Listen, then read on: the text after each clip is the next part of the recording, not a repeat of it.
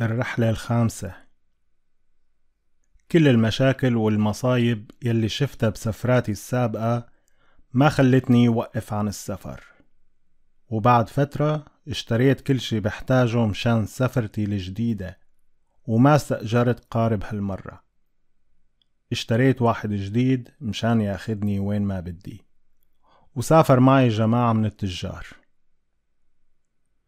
مشي فينا القارب من مدينة البصرة وكان الهوا منيح والأمور على أحسن ما يكون. ضلينا ماشيين بالبحر أيام وليالي لحتى رسى القارب فينا على جزيرة ما فيها الدومري اسمها جزيرة العنقة قلنا لحالنا خلينا ننزل على هالجزيرة ونرتاح من البحر شوي. مشينا لفترة قصيرة وشفنا بيضة طير العنقة وكانت كبيرة بحجم البيضة يلي حكيت لكم عنها بقصتي التانية. البيضة كانت على وشك تفقس وطل الفرخ بمنقاره من البيضة يلي كانوا معي صاروا يكسروا البيضة وأنا عم حاول وقفهم وحذرهم شو رح يصير بس إذن من طين وإذن من عجين. كسروا البيضة بالنهاية قتلوا فرخ العنقة وصاروا يشووا لحمه على النار وأكلوه. ويا دوب خلصوا أكلتهم المشؤومة لحتى عتمت السما واختفى ضو الشمس. وقلت لحالي أكيد هدول الطيور العنقة.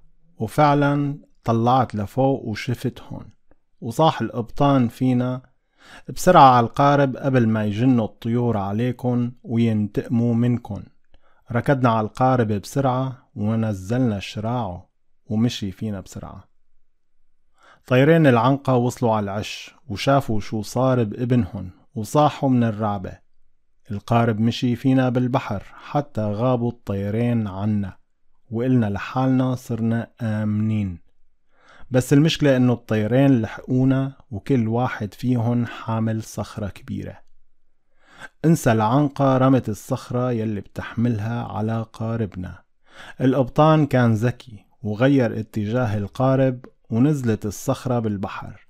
انزهلنا لما شفنا الصخرة شقت البحر نصين لحتى شفنا أرض البحر تقريبا. ويا دوب هربنا من أول صخرة لحتى دكر العنقة زت علينا صخرته يلي نزلت على قاربنا وهشمت جنبه. نزل القارب بالبحر بكل بضاعة والناس يلي فيه. كنت رح أغرق لو إني ما تعلقت بلوح خشب لقيته قريب مني. ضليت متعلق بلوح الخشب ما بعرف وين أنا لحتى رماني موج البحر لحسن الحظ على جزيرة قريبة. رميت حالي على الشط ولما فقت صرت أمشي بالجزيرة.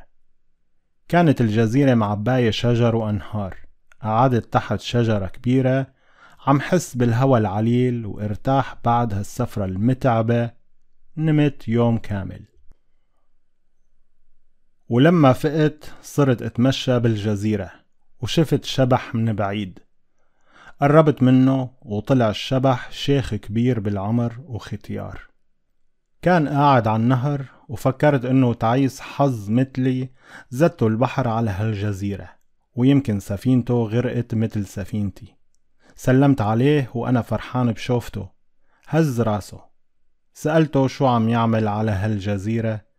قام طلب مني إحمله على ظهري وآخده على شجرة قريبة من النهر مشان يقطف فاكهة منها. شفقت عليه لأنه كان ختيار وحملته على ظهري وقطف كتير فاكهة ولما حنيت ظهري مشان ينزل بطل ينزل. كل ما بتذكر هالختيار بفرط من الضحك. انخدعت فيه وفكرته إنسان ضعيف بس شفته على حقيقته زلمة قوي وقاسي. نط الختيار بين كتافي ولف رجليه على رقبتي لحتى كنت رح اختنق. غميت ووقعت على الأرض. لما فقت لقيت هالعدو القاسي لساته قاعد على كتافي وفتح رجليه شوي مشان أقدر اتنفس. لما شافني صحيت ضربني برجليه كم ضربة وما قدرت قله لأ. مشيت لمكان ما بده وهو عم ياكل أحلى الفواكه طول النهار لحتى فرطت من تعبي ووقعت على الأرض بين الحياة والموت. فتح الختيار رجليه حوالين رقبتي شوي وأنا نمت.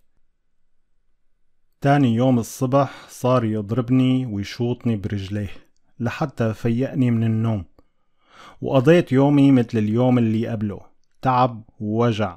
ضليت فترة على هالحالة. بيوم من الأيام لقيت عنب مستوي وجنبه قرع كبير يابس. قسمت القرع نصاص وغسلته بالمي منيح. وحطيت فيه عنب وتركته تحت الشمس كم يوم لحتى اختمر. شربت منه شوي وحسيت بنشوة الفرح. شافني الشيخ الملعون وطلب مني اسقيه من هالعصير. ما ترددت وعطيته العصير وصار يشرب لحتى طار مخه وحله سيقانه رميته على الأرض أخدت حجر كبير وضربته على راسه ومات بأرضه. ضليت روح لشط البحر كل يوم بلكي بتمر شي سفينة بتاخدني وبخلص من هالجزيرة يلي ما فيها حدا. شفت سفينة كبيرة عم تقرب من الجزيرة ونزلوا يلي كانوا فيها على الجزيرة.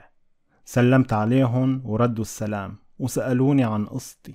حكيت لهم كل شي صار معي وتعجبوا وقال لي واحد منهم الله لطف فيك هالجزيرة معروفة عند التجار إنه يلي بينزل على هالجزيرة ما بتنكتب له الحياة من جديد. قضينا فترة قصيرة بعدين مشيت فينا السفينة أيام وليالي لحتى وصلنا مدينة حلوة. سألت القبطان عن اسم هالمدينة وقال لي هي مدينة القرود. عطاني نقافة وكل واحد على السفينة كان معه نقافة مثلي.